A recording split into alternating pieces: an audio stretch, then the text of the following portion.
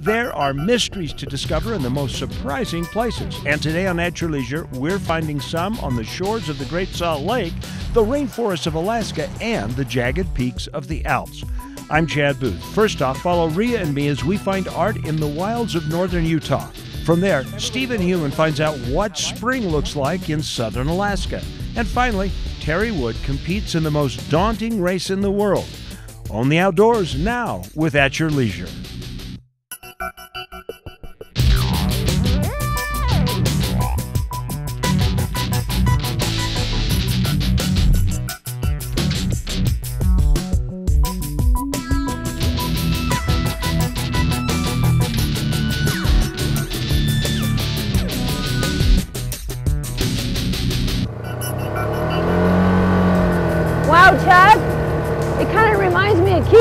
The rippling waves. I was going to say there's no surf, but there's also not a bunch of green. I'm thinking more of the Dead Sea there, honey. Oh, you're right.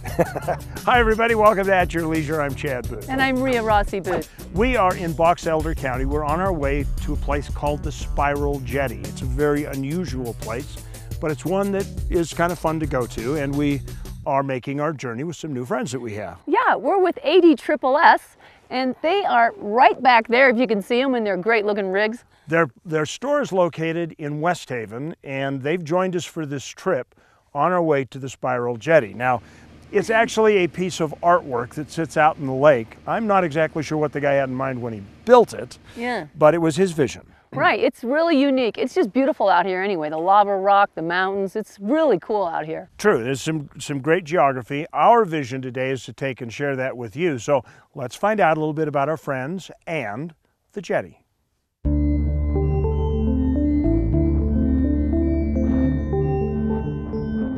Oh, the Spiral Jetty, really a, a great little uh, art piece.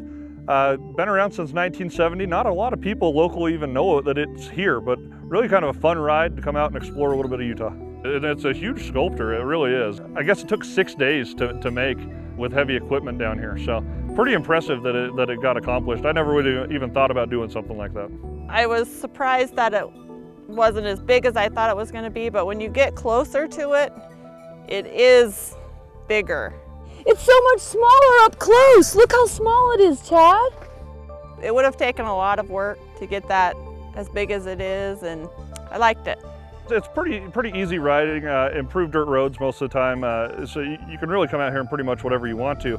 Uh, the ride's more about uh, the scenery, lots of beautiful scenery. I mean, when you come around that corner and you see the, the, the north arm of the Great Salt Lake, uh, it really uh, it impresses on you every time you see it how, how beautiful it is, that, that kind of light red, pinkish color water. It's really kind of neat. I wasn't thinking it was going to be as pretty as it is. When we first saw the lake around the corner, that was my favorite part. It was really beautiful. And the color, the color of the lake, I wasn't expecting it to be that color. At AD Triple S, we have a passion for off-roading, whether it be dirt biking, side-by-sides, ATVs, or snowmobiling.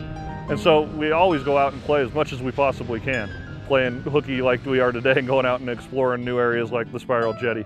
Uh, so we just have a passion for it. We can always show new areas to go play in. I think out here there's a lot of desert, but there's also the mountains and the lake. There was so much to see.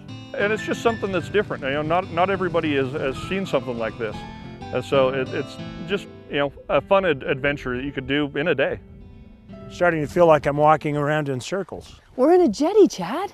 A spiral one. Yeah, isn't it cool? You know, I'm really glad we actually walked down from the parking lot down here because you don't really get an idea of how big it actually is till you do this. Right. And you know, it really is amazing because this whole landscape changes obviously from like the water level. Well, that's true. Yeah, I mean, if you if we had two or three more years like this one, you'd probably get that water that's probably a mile out there still, even though it looks like it's next door. Right. Up around the jetty. Yeah. Let's hope we get another two or three years. Wouldn't that be nice? That's that's true. That would be great. Yeah. Well, you know what? We need to find where Stephen Human is right now. Oh, I know where he is. Where is he? He's in Alaska. Alaska? Yeah, well, you know, spring's right around the corner. And, you know, May is a great time to be there. It is. Coastal Alaska in the spring, it's not just snow. He gets all the luck. Are those ants out there on the jetty? No, Chad, those are people. Oh, good, because I've never heard of a yellow ant before. They are kind of far out there, they are. Welcome back to At Your Leisure. We are on the Promontory Mountain Range. That tip right there is called Promontory Point, which most of you have heard in a history book if you're from Utah. Now, in between where we are and those points are, there are ghost towns, there are mountain passes, there's a railroad grade, there are the water pumps, there are all these things that you can do when you're exploring by ATV in Box Elder County. We were lucky to have two of the most knowledgeable ATV guides in the county, Ted and Lyle, and they're going to tell us what we could see in the day's adventure.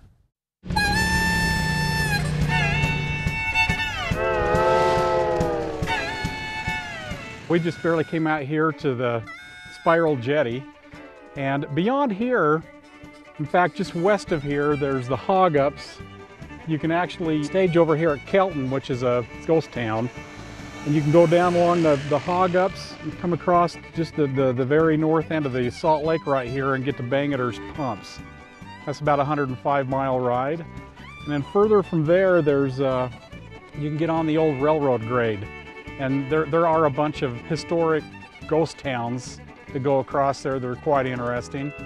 You can end up in Devil's Playground, and there's a pretty ride up there on top of that. And just past that, there's City of Rocks. So there's, it's easy riding out here, flat, and uh, if you're looking for an easy ride, this is where to come. It's a hidden gem once you get out here. And it's a different type of scenery that you usually never see. It's the different end of the Great Salt Lake, and with the lava rock that are here and the volcanic type, and then you go and get up on top of the mountain and you've got pine trees. And then when you get out in the mountains and you realize there's a lot of land and territory out here that I don't think many people realize how big it really is. If, if you're looking for a certain type of ride, this is where to come. Well, obviously, you could park yourself in Corinne or Brigham City and you could spend more than a day out here because we've just scratched the surface with all these riding opportunities that you've seen. And uh, people who fly over the lake wonder why all of a sudden there's this straight line across the lake and it looks kind of normal lake-like on the south end. It's kind of bluish green. And then over the line, it's like pink water. It's because that part of the lake is totally isolated and the water can't mix.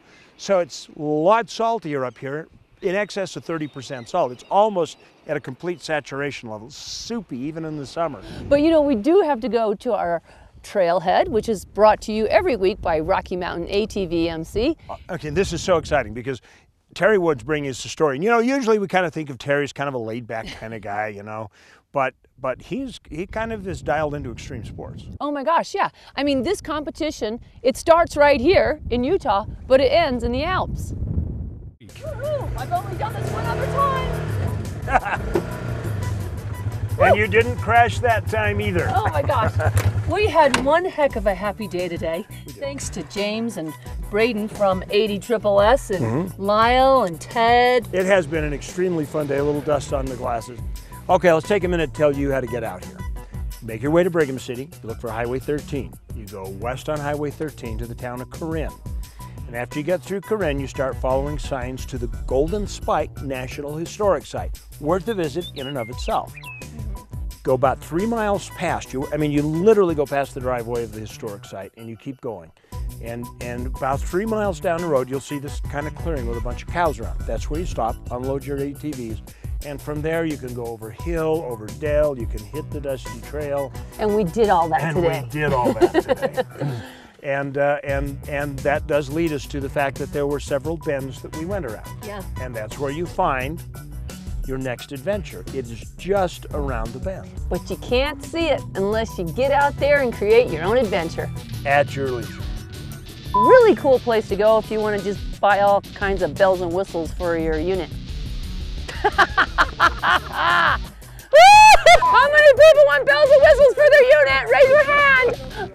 Hey guys, if you liked that video, you're gonna wanna watch all of our other AYL videos. You're gonna wanna like it, you're gonna wanna share it, and you're gonna wanna subscribe, right? See all the buttons right here?